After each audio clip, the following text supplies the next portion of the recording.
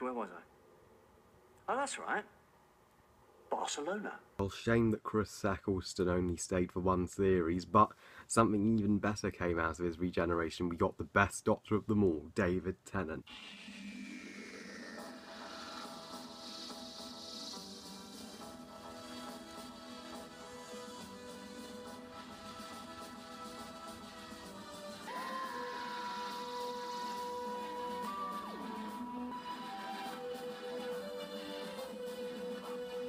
Bad Wolf and the Parting of the Ways by Russell T Davies and is of course episode 12 and 13 of series 1 of Doctor Who and of course the very first series finale of the revived series. So this episode it was pretty darn hyped. Now of course Bad Wolf and Parting of the Ways tell the story of the Doctor, Rose and Captain Jack ending up on Satellite 5 uh, which they went to in the long game but this time Satellite 5 has been turned into a a uh, a mimic of uh, of classic TV shows like The Weakest Link and Big Brother and so on. H- however, as the Doctor attempts to find Jack and Rose, Rose sadly is believed to be killed uh, after trying to escape, whereas the Doctor discovers that uh, thankfully Rose is still alive, spoiler alert, and uh, is aboard uh, the mothership in of a Dalek fleet that has been in control of Satellite 5 and are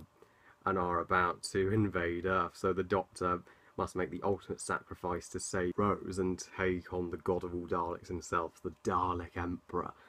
Pretty damn epic, right? Now, Bad Wolf and the Parting of the Ways is considered it's a considered a classic and a masterpiece. It's considered uh, still to this date the best finale in in the show's history. And uh, considering how well received this series had been and how well Russell T Davies had brought back this show this needed to end series 1 with a bang. And uh, get you uh, thinking god knows what they have in store for series 2 and thankfully guys this is exactly what this episode did. This episode lived up and surpassed expectations. This is without question not only one of Russell T Davies's absolute best scripts, this is one of the greatest finales in Doctor Who history. It puts all the Steven Moffat finales to absolute shame. Uh, he should really take notes from this. I I just absolutely love it. Uh, so, well, let's get into all of the uh, many reasons uh, why this is a perfect end to Series 1.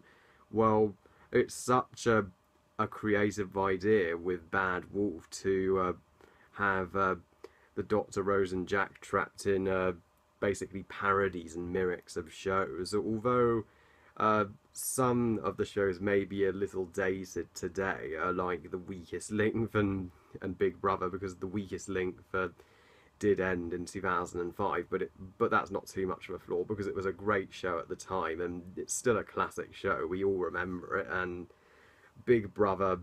Uh, I'm not sure about Big Brother. Who the fuck? Who gives a fucking shit about Big Brother? I certainly don't watch it. Well, well, my sister likes it. That's fine, but uh, I I've never liked it. But but but it's all right uh, being parodied in Doctor Who. It's it's fun. Meanwhile, Captain Jack is stuck with these two. Uh, uh, hair cutting robots uh, that wanted to give him a makeover, which was hilarious. Uh, John Barrowman got a chance to shine, and he did not disappoint. Um, I love the design of the androids on Satellite Five. The with uh, Rose on the weakest link, and with uh, and with Jack, uh, the haircutter droids. They are both brilliantly designed androids uh, uh, by by the mill, and the weakest link android. She was formidable. I I was scared shitless. So if you lose the weakest link, you die. You get zapped and turned to dust.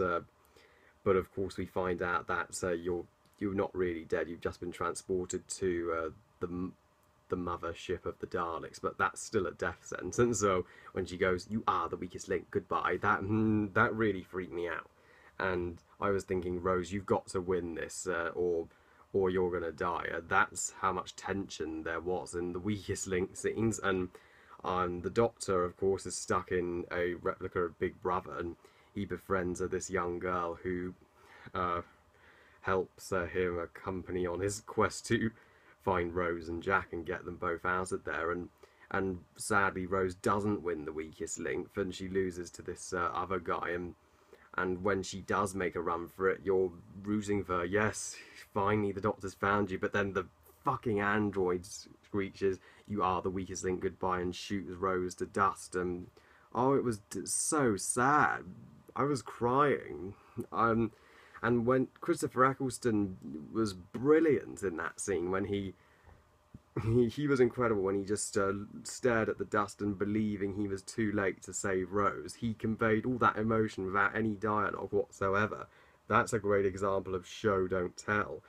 But of course, the uh, uh, controller of Satellite Five is this woman. She's strapped with all these wires, and she looks uh, she looks terrifying, but she's very sympathetic. You feel for her. That's uh, that's uh, she's been wired to Satellite 5 and is basically forced to control everything. The cliffhanger of Bad Wolf is one of the best cliffhangers I've seen, not just in Doctor Who, but on television in general. Just seeing that fleet of uh, 200 Dalek ships, as the Doctor said, over 2,000 aboard each one. So he's facing literally half a million Daleks. I'm like, how the heck uh, can he win?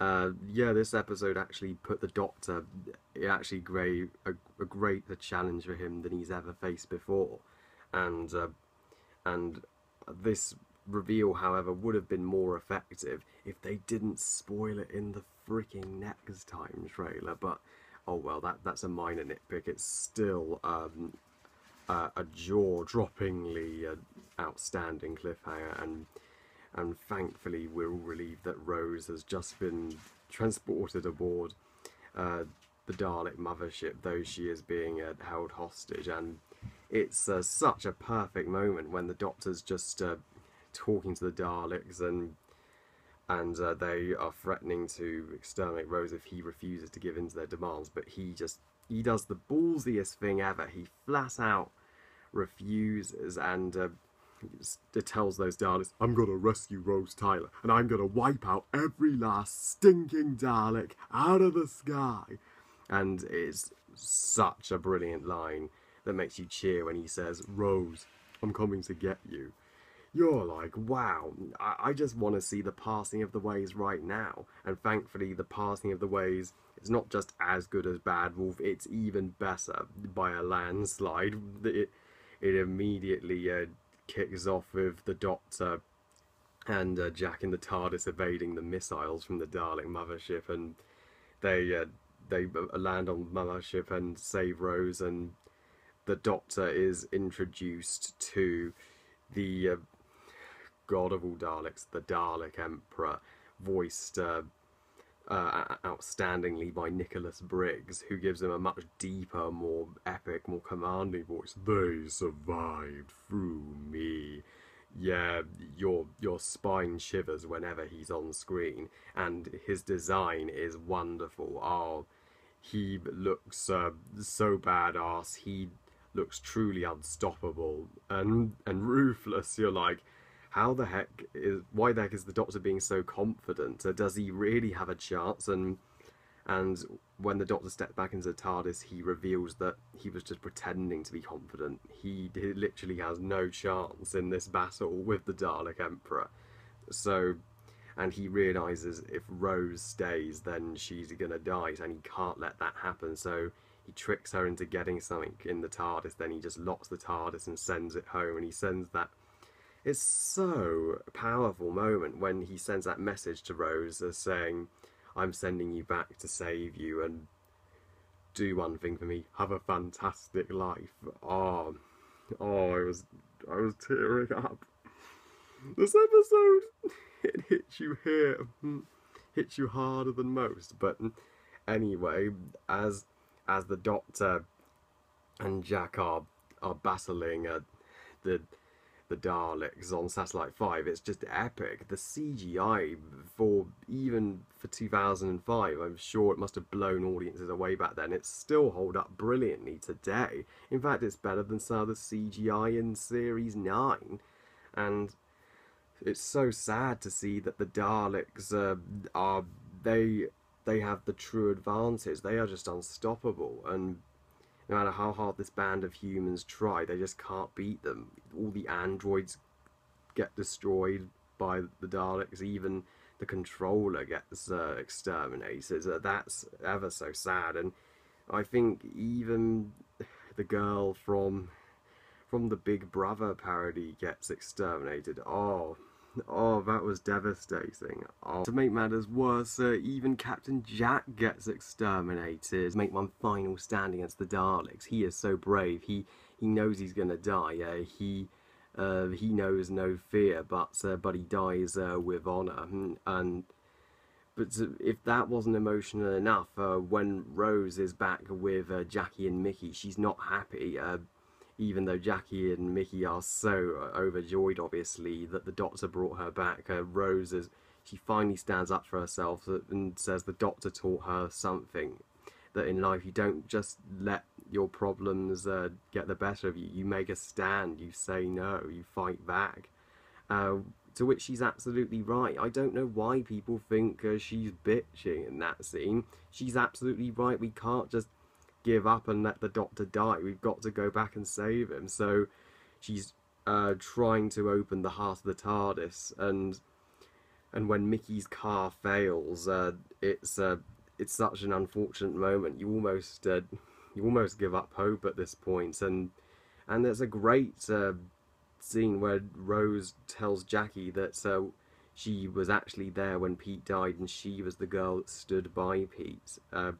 To which Jackie obviously gets uh, gets angry and overwhelmed with emotions. And I love how Father's Day brilliantly ties into this episode, and and and, and of course, we get some resolution with the bad wolf storyline. We find out that Rose is the bad wolf herself, uh, which, which, in the big letters, bad wolf on the pavement, uh, which uh, was uh, such, uh, which was such an ingenious twist. And I love how Jackie finally comes to her senses and helps out in the end by bringing Rose a truck. They open the heart of the TARDIS, and Rose gains the power of the god by opening it up and but before Rose returns, the Doctor is literally uh, on the brink of defeat and about to surrender to the Dalek Emperors.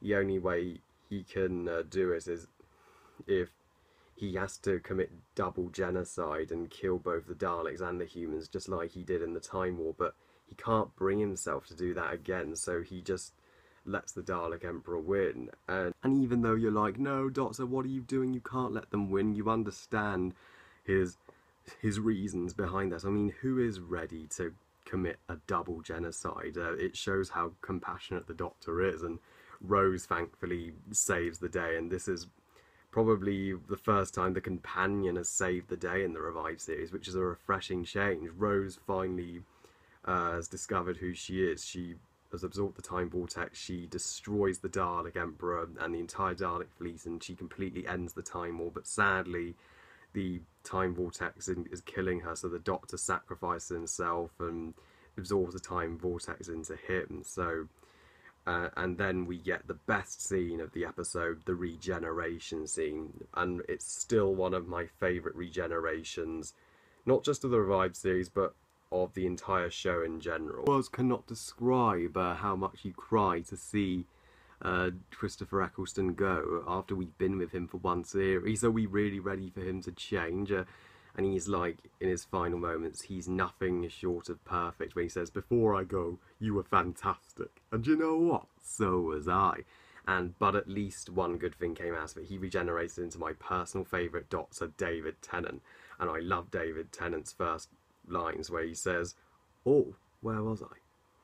Oh, yes, Barcelona. The parting of the ways isn't just perfect Doctor Who, it's perfect television and a, a, wonderful conclusion to a wonderful series. It's an absolute masterpiece in every way. It's it is perfect. It's one of the few episodes of Doctor Who that I have no flaws or even nitpicks whatsoever. I give Bad Wolf and the Parting of the Ways five stars out of five. Is this the best story of Series 1? Absolutely. Is better than any series finale Steven Moffat has written thus far? Yes, absolutely. And it might be in my top 10 Who episodes of all time. So I love you guys. Thank you all for watching. What did you think of Bad Wolf and the Parting of the Ways? Please comment and let me know. Please like this video and subscribe. Please follow me on Twitter and on Google+. And I'll see you all next time. Bye, guys.